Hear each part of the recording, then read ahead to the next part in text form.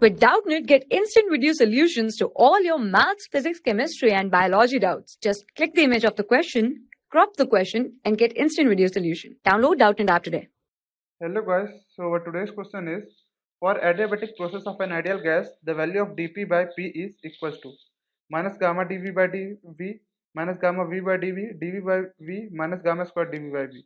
So guys in this question we have been asked that for an ideal process adiabatic process of an ideal gas the value of dP by P is.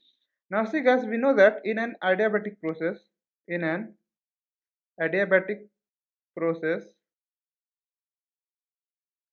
we know that PV to the power gamma is equal to K that is constant. If we differentiate the above equation what will we get? We will get dP into V to the power gamma plus taking another as constant. So it will be P into gamma V to the power gamma minus 1 into dV. And this is constant so it will be 0 so from here dp into v to the power gamma is equals to minus gamma times of p v to the power gamma minus 1 dv.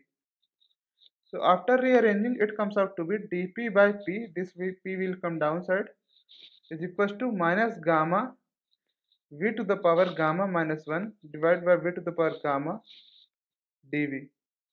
After further solving this comes out to be dp by p is equals to minus gamma times of this will be dv by v.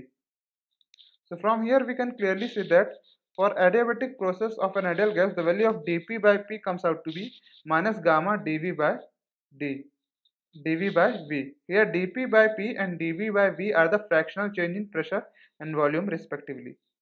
So the value of dp by p comes out to be minus gamma times of dv by v minus gamma times of dv by v. So correct option is option A. Thank you guys.